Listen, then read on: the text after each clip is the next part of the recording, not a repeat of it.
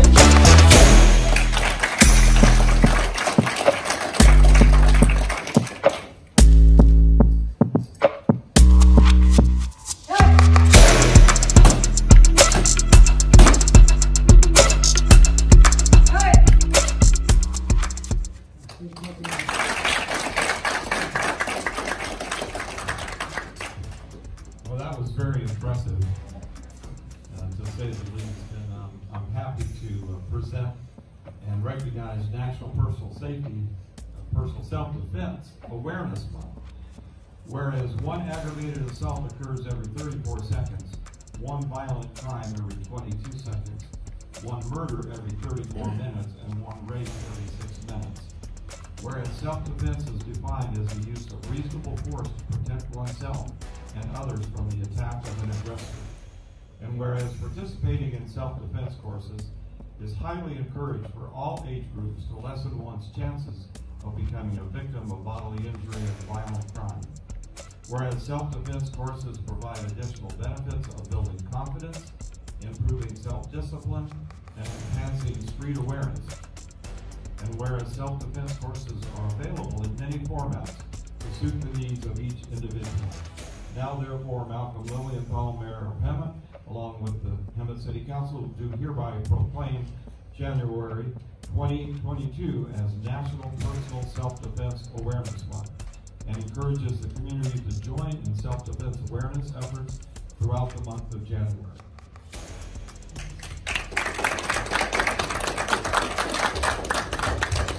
So I'm very proud to be an instructor at World Black Belt Center. We have very young children starting from the age of four all the way through adults. Each of our students have come into our studio looking for something different, whether that be self-confidence, self-respect, self-protection, and even other mental illnesses that want to get better.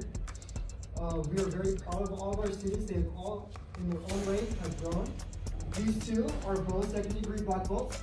They've been in Taekwondo for more than eight years. They have also always had a 4.0 average grade.